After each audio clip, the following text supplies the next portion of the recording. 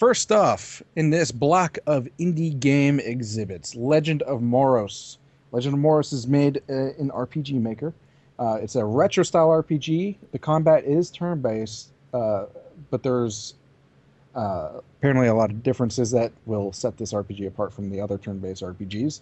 There's a lot of side quests. There's actually a crafting system in this, which is kind of interesting. Um, and basically, so I guess you fight monsters and you uh, can pick up parts from them, use those parts to craft various different items to help you on your journey. Um, let's see, there are 12 different characters that you can have on your journey, or that you can have join you. Uh, they don't have to be, but uh, you can essentially, between all the characters, in, including your own character that you make, which doesn't even have to be a part of the uh, the main, I guess, group of people that you can play with. There's over a thousand different uh, potential party combinations. You know, so you can play it however you'd like. Uh, there's a really good storyline, dramatic and humorous all at the same time. And of course, uh, the side quests will, will add to that. They're not just randomized side quests just to keep you busy, which is always nice. I, I always thought it was kind of annoying when there's side quests that are just there as busy work. Like, you know, Yeah. what's the, Mhm. what's the really point? Um, they And- do and use it- original assets, by yeah, the way. Good. every- everything's original. Um, uh, it- it's really easy in RPG Maker to just sort of be like, oh, I'm just going to use this pack, but like they've gone the extra mile and and have you know created their own uh, tile sets for everything. They they're also not using the the stock RPG Maker um, system, as you can probably tell from the video that we're showing. Uh, their combat system is you know is different. Uh, all of their you know assets are you know completely their own. They they've put a lot of time into this. And to talk about the combat system, because that's what they're really kind of, Yeah. uh, what's the good word, flouting. yeah, Um, the combat, it's basically, they say it's based on a, an unusual stamina system. That's their words. Um, so as opposed to games where spellcasters uses MP and everyone else just attacks, stamina is consumed by a character whenever they uh, use a skill or a spell. So um, everyone has like a limited. Uh, actually, it actually kind of reminds me of Pokemon with the PP yeah, kind of like that. a little bit. Only it's a little, know? I think it's a little bit more like fluid Mhm. because different because you know PP was very straightforward, whereas this is a little bit more detailed, has a little bit more depth to it. Right. So on top of all, you know, the the heavy customization of your party with all the different combinations you, you can do, and then the uh, the different kind of combat system that makes it it does make it a different kind of RPG. Uh, Yeah. It is available on itch.io right now. All right. Let me link you in the chat, people. Fluid PP. Thank you, thank you, thank you, Jay. In the chat. Fluid PP. Dang it! I didn't even realize it. Oh, he said doo doo.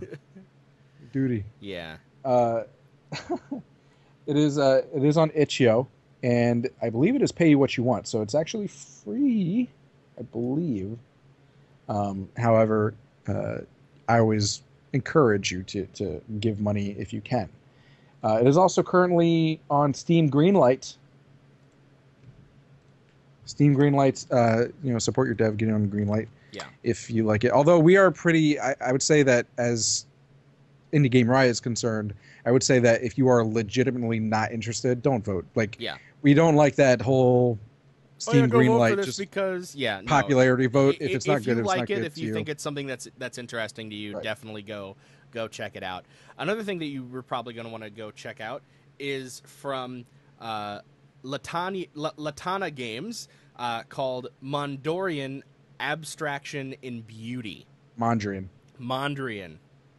Mon. There is no O after that R. You're right. Uh, so let's get some gameplay footage of that going. All right, and I've also got a couple of keys here to give away.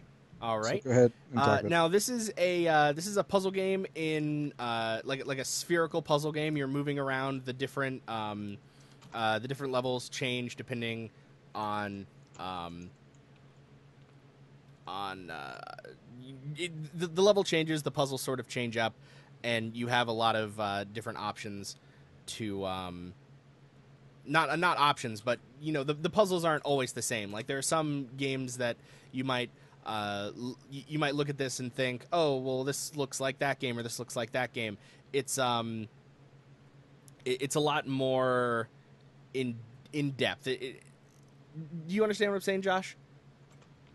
yeah. I get. I was actually I was actually trying to talk to do someone it. Do a. Oh, okay. Yeah, just leave me hanging like that. Sorry. Uh, so yeah, Mondrian uh, is currently on uh, Itch.io. It is uh, for sale.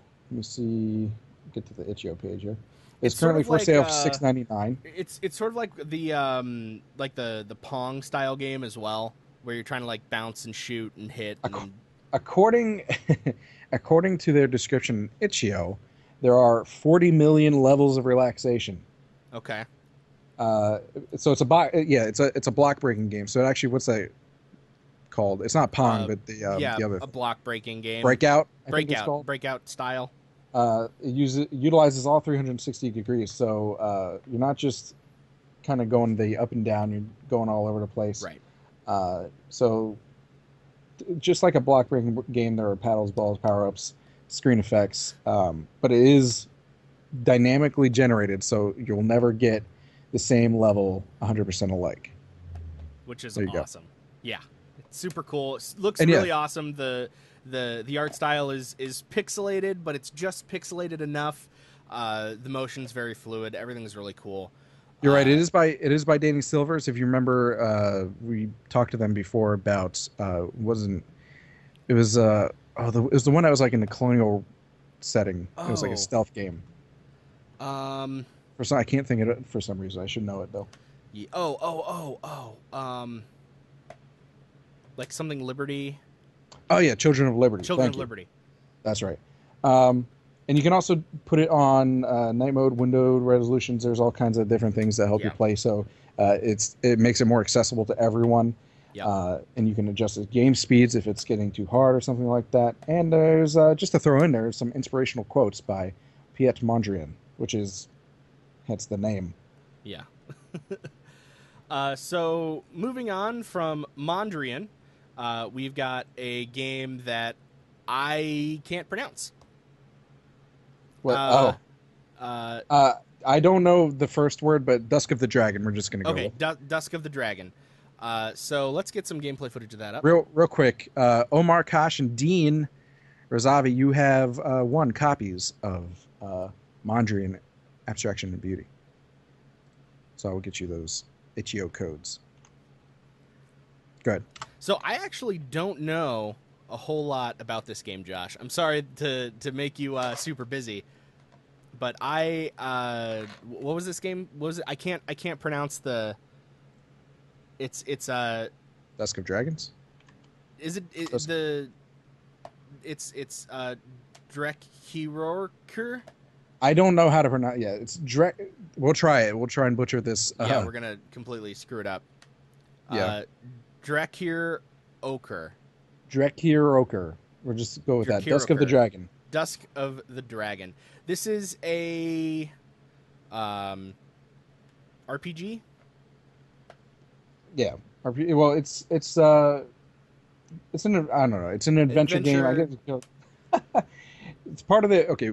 One, I think maybe if we have time, we will do a uh, a press tips panel Yeah, because some some some of the websites need to. We have some tips to get you uh, some better help for te- for press to get uh, more interested in this game looks stuff. great. By the way, It it looks At- cool. atmospherically too. For such a simple game, it, it really sells it.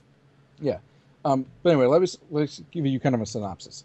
Uh, altered by human stupidity, natural order simply vanished. A fantastic, as fantastic dreams like magical capabilities and teleportation were made possible, our worst nightmares were also breeded. Warlike investigations also were at people's minds. So bizarre creatures created were. I'm not sure if this was originally in English because that doesn't make any sense. So I'm going to forego that. so press tip: make sure it's translated correctly.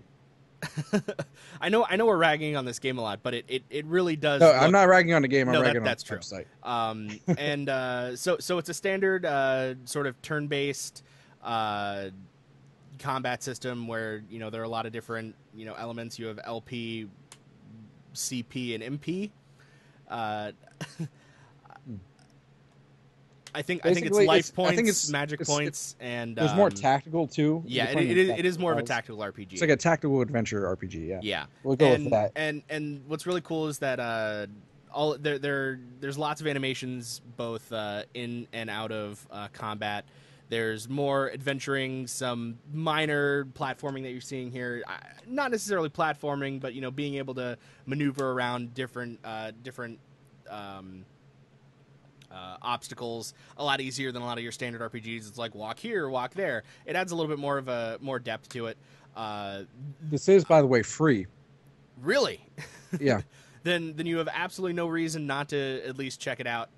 Uh, forever free, uh, as it says. yeah. Let me go ahead and link this in the chat there. And uh, one thing I think the the one thing that really impresses me with this is how they made the world kind of um alive. It's constantly p- time constantly passes. Um, you know, you don't ever feel like it's just a static game that you're just kind of stuck wandering Yeah, around. definitely. So uh, and you know there there's a lot of yeah exactly there's a lot of stuff happening enemies are walking around uh, random encounters aren't necessarily a thing you you actually know when you're going to be getting into a combat um, the the art style is really cool uh, I really like the, the the the fonts that they used it, it really like you, you know when you look at something like a pixelated game and then you hit the pause menu and everything's like super crisp Mhm. and it doesn't really match up. This feel this game feels very um not retro per se, but well, it is retro. I mean, Well- it's well, yeah. SNES graphics. yeah, exactly. But but it, it really does a good job of having the whole experience, you know, feel uh feel like cohesive. Right. Gotcha. Uh, so the second or the last game of this block, as uh, we finish very early once again. Right. I think I think next. Well, one thing to learn for next year is uh, at least now we have a feel of how long How these long these things go. these uh, these uh, game blocks can go, which means we need more panels though. So keep that in mind for next year. Anyway, the last one is Skyhook. Uh, one of my personal really, favorites. You're really excited. You you saw this game at uh IndieCade East. IndieCade East. One of my personal favorites uh, from from this uh, from the expo so far is Skyhook. It's a really cool multiplayer arena battle. They're kind of you know in the same style of like Smash Brothers and all that stuff as far as when I'm saying arena. Um, but the the cool thing about it is that you're only using uh, grappling hooks. All the different characters using grappling hooks to first of all like you can jump and swing off of things, uh, but you're using grappling hooks to hit people and pull people uh, and try and throw them down into the you know the crevices and, and hit them with all that sort of stuff. Uh, I also have some codes for Skyhook, a couple of them. Awesome. So uh, have So- you? Go What's ahead. that? Go ahead. I gotta what put you the saying? thing. Oh, okay. Uh, so, so as you can see with the um, with the gameplay footage playing right now, uh, this is a sort of team-based two v two match where uh, you know each character is different, has has a unique um, sort of graphic. You have a uh, uh, a- a heart reservoir, and every single time you die, you lose that. So you can only die so many times, which is how you know you win. I, I also assume that there is a free for all mode, uh, different gameplay modes as well, Josh. Yeah, different gameplay modes, um, similar to like I always compare it to Smash Brothers because of you know that's like the most Yeah. popular arena B- brawler. but but it's a very interesting mechanic, especially now that you see uh, the the one red guy is in the uh, what's it called? In inside the little cannon oh yeah, yeah. jar thing. That's the that's the that is actually you're right. I forgot about that. One other one other weapon that you can use. You're in kind of a uh, uh, a cannon like airship, yeah. so you can actually blast people with cannons. and then there are also uh, different environmental things that you can pick up from chests to Right. like send meteors down, like we saw earlier. This game, uh, this game too, is one of the games that uh, actually makes me feel like a badass Yeah. when I'm playing it, because uh, you know you're talking like Batman kind of badass because Yeah. you can use your grappling hook and just oh, I just almost died. Like you know what I mean? Like if you're the shark dude, the tip of your fins like about to go off screen, but then you save yourself last minute because you grappled. One thing though is like you get uh, sometimes, especially if you're not used to the controls, you can like grapple to the side of something and stick there, but then Uh, but like, then you wait. slide down. No no you don't you you can hold there Okay. but then you have to figure out how you're going to get back up like you can either like you're either going to let go and fall or you're gonna have to like find something else to grapple onto. But at the same time, you can't really angle it. Yeah, You and know what I then you have mean? to deal with all the enemies trying to kill you. But yeah, and then everyone's trying to like like stomping Yeah. on your fingers if you're holding on whatever. But uh, yeah, it's a really cool, uh, really cool multiplayer game. Something to play with your friends. And uh, I have two codes for that. So awesome. and there's a lot of you in the chat. You guys want Skyhook? I really, really, really, really, really suggest it. All you gotta do is click, click the yes button. That's all you gotta do. Yeah, click the do that. yes, hit enter, and then we will be choosing somebody live to win Skyhook.